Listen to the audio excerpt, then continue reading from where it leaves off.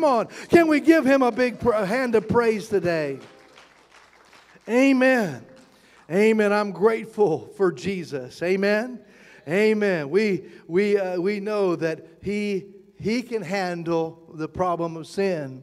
Other people say, well, you know, I'm addicted to it. I'm struggling with it. Uh, let me tell you, whom the Son sets free is free indeed. God can help you with that. Amen. And I believe that He can help anyone recover. Amen. Let me give you the second message today, and I'm excited to preach this one, all right? It's not really part what we think of as the Christmas message, but I see it as part of the angelic message, all right? The second point is this that Jesus Christ will reign as king forever. Jesus Christ is going to reign for king as ever. When we think of Christmas, you know what we think of? Sweet little baby Jesus in a manger. We think of the softness of Mary's face and the wonderful opening, you know, gentle heart of, of, of Joseph taking them in. And, and we think of that there was no room for them in the inn and all of that. But how many of you realize that from an angel's perspective, they knew who Jesus was? Amen? They saw him as the pre existent, eternal Son of the living God. They knew that, that, that creatures in the galaxy, creatures in the universe, bowed down to him. And now that they saw him as a baby, you know, appearing in flesh as a little baby, they realized that he was going to become something great. He was going to become a king. In fact, the Christmas story is filled with kings magi from the east. Some say they were kings. Saw the, from the east saw his star, came to worship him. Even the stars declared that a king had been born. Herod the king was so intimidated that he tried to have him killed, baby Jesus killed. We can never forget that the message of the angel was that Jesus Christ would reign as eternal king. And how incredible that the angel entrusted this to a young teenage girl by the name of Mary. Let me read the story. Luke chapter 1. It says this In the six months of Elizabeth's pregnancy, God sent the angel Gabriel to Nazareth, a town in Galilee, to a virgin pledged to be married to a man named Joseph, a descendant of David. The virgin's name was Mary. And the angel went to her and said, Greetings, you who are highly favored. The Lord is with you. Mary was greatly troubled at his words and wondered what kind of greeting this might be. But the angel said to her, Do not be afraid, Mary. You have found favor with God. You will conceive and give birth to a son, and you are to call him Jesus, and he will be great. How many of you think Jesus is great? Come on. I think we ought to give him a big round of applause, don't you? He's so great, we can't hardly say his name without worshiping him. Amen. He's going to be great and he will be called the Son of the Most High.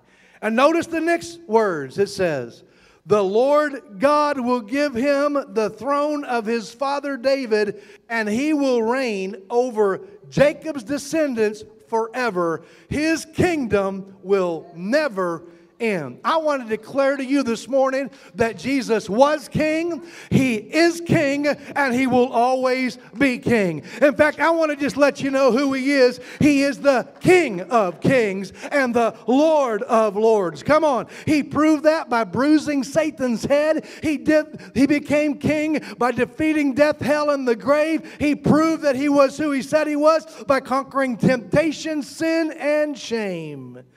Well, some would say, well, if the proclamation of the angel is that Jesus is king, you know, I, I don't see where his throne is. I, you know, where, where is he reigning? Let me tell you something. He reigns, all right?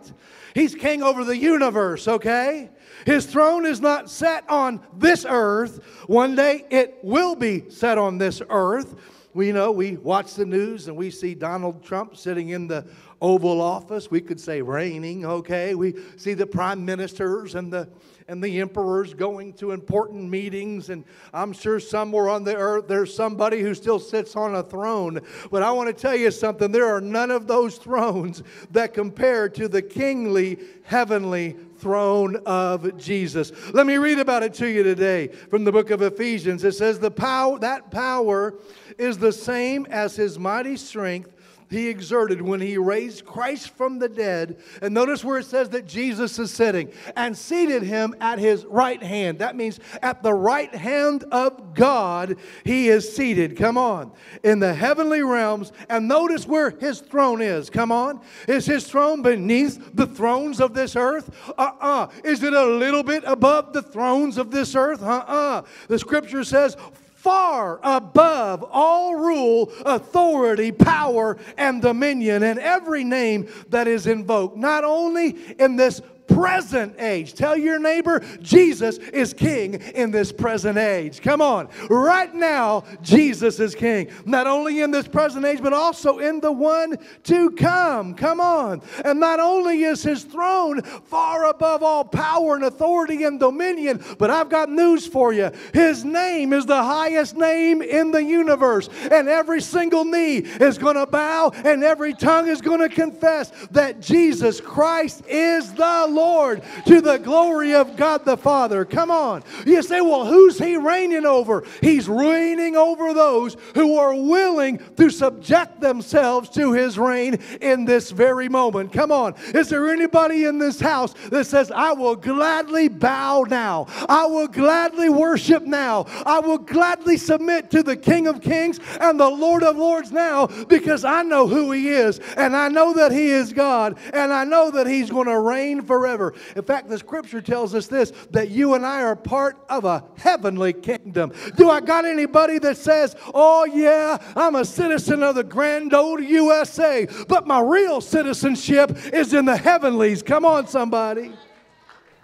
Amen. They're either you're in one kingdom or the other. Either you're in the kingdom of darkness or you're in the kingdom of heaven. Is there anybody that says, I'm so grateful that God translated me out of the kingdom of darkness and put me in the kingdom of His dear Son? Oh, I love the Lord for that. Amen. Amen. And part of the Christmas message was that the angels delivered to us not that just he was a baby in a manger, but that he's going to be the King of Kings. You can read over in Revelation chapter 19 that one day this same Jesus, born in a manger, looked on by angels who died on the cross, this very Jesus is going to get himself up on a white horse and he's going to return to earth for a second time. He's going to be followed by the armies of heaven dressed in white, and he's coming to set up his kingdom on earth where he will rule and reign with the saints of God. He, we will reign with him for 1,000 years. Is there anybody looking forward to being in the reign of Jesus? Come on. First time Jesus came, he came veiled in the form of a child. Not many really knew it.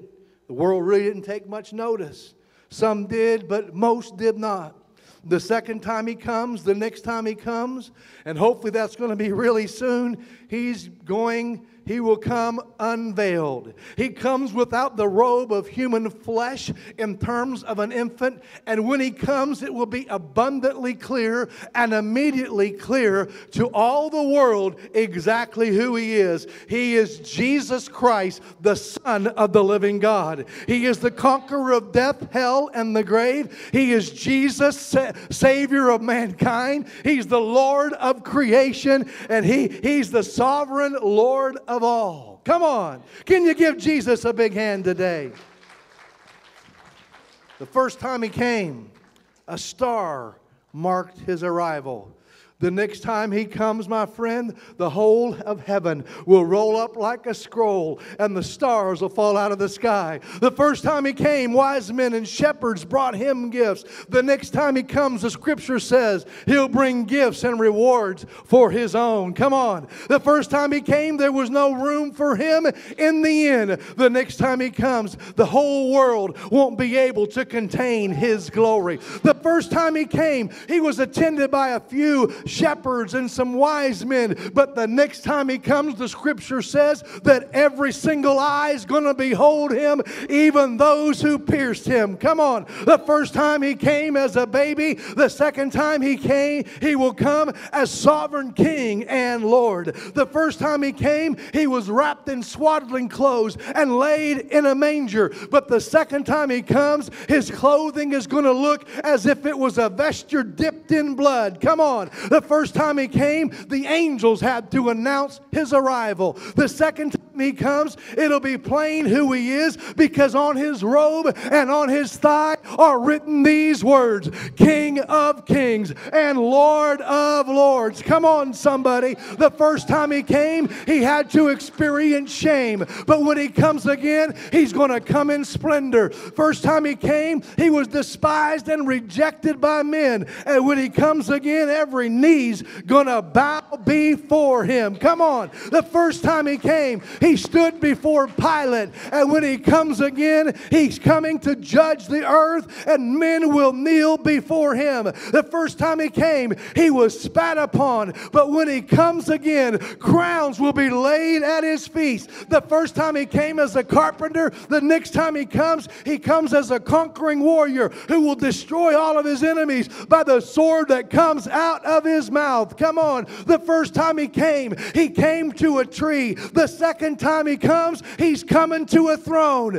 The first time he came to a crucifixion, but the second time he's coming, he's coming to a coronation. Come on, somebody. The first time he came as a servant, but the next time he comes, he's reigning as the sovereign Lord of all the universe. I'm not talking about some other Jesus. I'm talking about the very Jesus that walked into your life, forgave you of your sins, lifted you up out of the miry clay. That very Jesus is the one I'm preaching about today. That baby born in a manger, seen by angels, is the king who will reign forever. He'll reign for a thousand years. And then at the end of those thousand years, the scripture says that God's going to create a new heaven and a new earth, and there'll be an eternal king. Come on, by the name of Jesus, in an eternal city built four square, in a city where the Lamb is the light. Oh, just let me preach. This morning I might get to preaching. Oh, hallelujah. I don't know about you. You say, I, I get excited about the birth of Jesus. I'm sorry. I love Christmas. Come on. You want to know why? Because my king was born on Christmas. Amen. Someone said, Well, was Jesus born on December 25th? I don't know. You know something, though? If my family says, you know, we can't make it to your birthday, and they celebrate it a couple weeks late, it doesn't bother me a bit. Hello?